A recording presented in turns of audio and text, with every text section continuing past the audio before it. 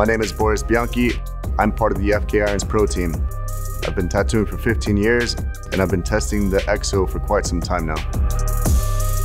So while testing the EXO and checking out all the diameters and grip sizes and everything else, someone presented me with the 40 millimeter and I pretty much laughed at him until I held it in my hand and said, wow, this, this actually feels really, really good. Something different about this machine uh, that I've experienced is the front grip being so wide.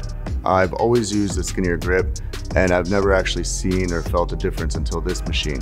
Being all front weight, it effortlessly does all my tattooing for me, whether I use 14 round or three tights.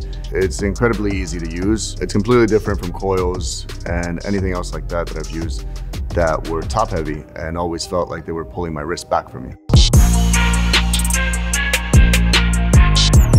So I specialize in block work, fine line, and bold tattooing. So I'll use anywhere from a single needle to a 14 hollow. Also, I use big mags, 13 up to 35. With this machine, it doesn't feel like I'm even holding a machine in my hand. All the lines, all the shading, everything packs in, everything goes smooth. It's been pretty easy with this big grip and it, it just fits so comfortably in my palm. So the other option about this machine that I really, really liked was being able to switch between RCA and battery. It gives me the option to be conventional when I'm at home, be able to plug in. And what's beautiful about the front way is I don't even feel the cable there. And you know, once in a while, whenever I decide to travel, I can just travel lightly and bring the battery. And hey, if it ever dies, I got the option.